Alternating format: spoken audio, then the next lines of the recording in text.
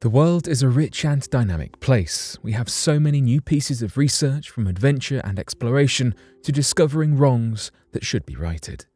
So today, here at Unexplained Mysteries, we will be taking a look at three recent discoveries.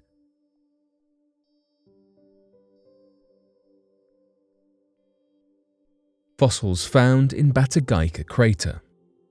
Deep in the permafrost of Siberia, lies an enormous mega-slump crater known as the Batagaika crater. At around 1 kilometer long and over 86 meters deep, this massive void in the earth is only increasing in size and at a rapid rate. The area around Batagaika is composed of dense, hard permafrost created by an ice freezing into the ground and being buried for thousands of years, resulting in layers of packed ice and sediment. However, around 60 years ago, the area fell victim to the rapid deforestation that has become so common in the modern world, and there were not enough trees left to adequately shade the ground, causing the permafrost to slowly thaw and collapse, creating the massive crater. And while locals in the region avoid it at all costs and view it superstitiously as a door to the underworld, what this massive hole in the permafrost can reveal about the past is of great interest to scientists. In much the same way that analysis of the rings of a felled tree can tell stories of climates and weather events from the past, so can the collapsed permafrost as they reveal through exposed sediment layers what the soil and earth composition was like millions of years ago. Nowhere else in the world is there such a visible and complete record of almost every change in climate for the last 200,000 years so scientists have moved quickly to take advantage of the situation.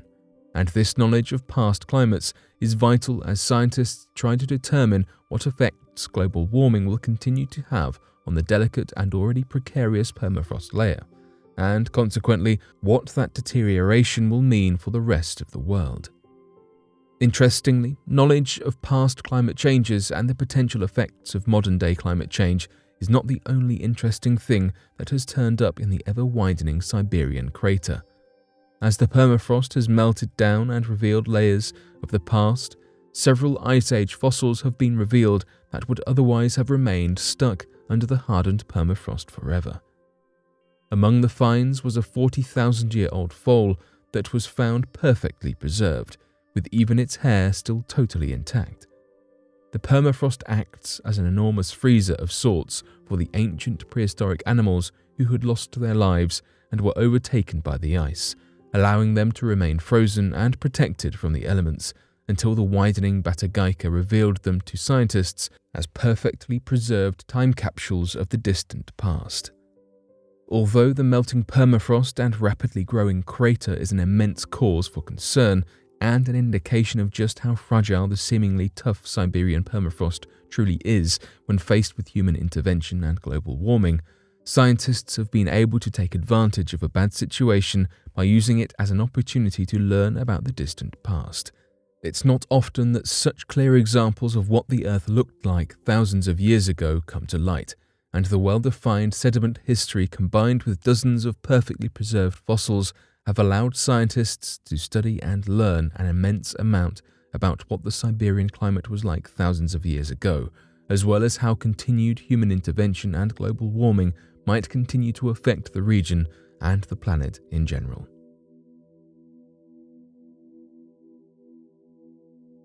New species of human discovered in a cave in the Philippines. The history of the human species is as equally rich and complex as any other species on Earth. While we Homo sapiens ended up being the only surviving examples of humans, there are many other species of humans that have existed over millennia. In 2019, the rich human species grew just a little bit larger thanks to the discovery made by a team in the Philippines. Homo luzonensis, the small human species, was found from a small collection of bones, including seven examples of teeth. The discovery is the third of its kind on a Southeast Asian island to be host to a discovery towards the history of the human species. Armand Mijares, an archaeologist from the University of the Philippines Diliman and leader of the Luzonensis project, said, For a long time, the Philippine Islands have been more or less left out. This, however, has shown to be the wrong way of thinking, and the island nation could be host to much more than scientists initially believed. Yousuke Kaifu, a paleoanthropologist at Tokyo's National Museum of Nature and Science, also said this discovery highlights the remarkable diversity of archaic hominins once present in Asia, in a way beyond my expectation. For a long time, Asia's role in the history of the human species was considered to be well understood. Paleoanthropologists knew that ancient human species travelled across the continent to areas such as Indonesia by using land bridges to the more isolated and remote islands we know today.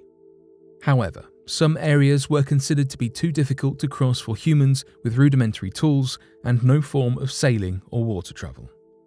Luzon, where the new discovery was made, is one of these remote locations, far away from the mainland of Asia. It has never been connected by land bridges, so the belief was that study in the region would be pointless, with teams never digging deeper than 2 metres in the hope of discovering human materials. Researchers in 2004 blew that idea out of the water with their famous Hobbit discovery, a short species of humans that lived on the Indonesian island of Flores up until 50,000 years ago. In later years, even more discoveries of human fragments were made. Excavations yielded part of a femur, as well as finger and toe bones and teeth, all belonging to three distinct human individuals. The ancient remains show a type of human with a unique mixture of ancient and modern characteristics.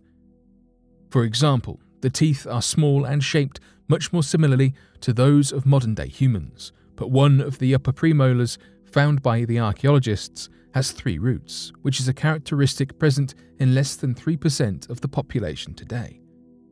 Similarly, one of the uncovered foot bones shows a likeness to those belonging to the Australopithecines, an ancient group of human family relatives to which Lucy, the famous Australopithecus fossil, belongs to.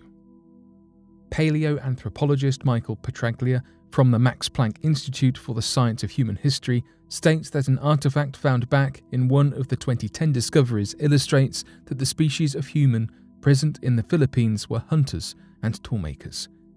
When discussing the potentially new species of humans, Petraglia says, if rhinos can swim and get to places, certainly we can think of that. Erectus, Floresiensis, and Luzonensis not necessarily just swam, but at least rafting, if not boating. It's just pure speculation, but you could posit that and make some convincing arguments. Scientists are hopeful that Southeast Asia holds more fossils yet to be discovered, and that their understanding of human history could soon be expanded even further.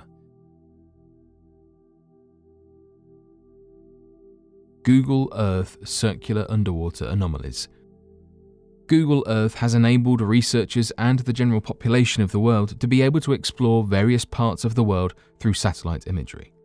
Over the years, a number of strange anomalies have been detected on Google Earth. One such anomaly is that of the mysterious circles made underwater in different parts of the world. Most of these circular underwater anomalies have been found in North America.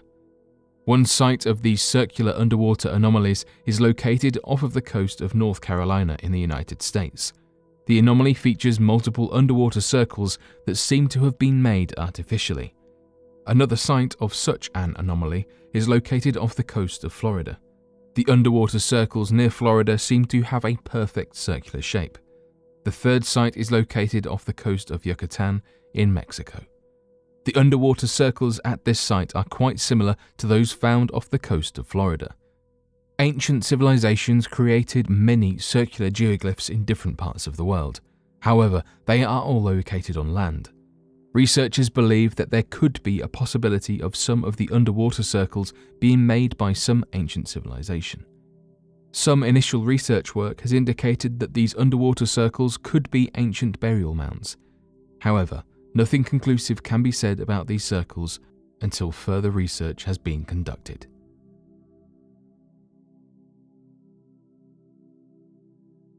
But what do you make of these interesting discoveries? Be sure to let us know your thoughts in the comment section below and help us by growing this community while working to solve these unexplained mysteries. Thank you for watching and don't forget to subscribe for more videos.